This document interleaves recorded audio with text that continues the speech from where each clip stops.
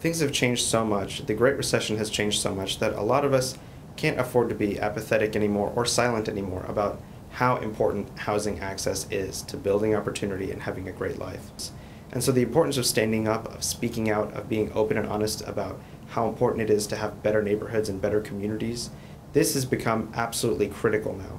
Individuals can't afford to sit on the sidelines anymore. We need to speak up and speak out. And really, just a few phone calls, a few letters can make an enormous impact, especially at the state and local level. I knew one legislator who only got five phone calls on a particular bill, where before they had not gotten any, and to them, this was a sea change in his or her district. To have five phone calls on a random housing bill to them really spoke volumes, and they became quickly an enthusiastic supporter of housing issues.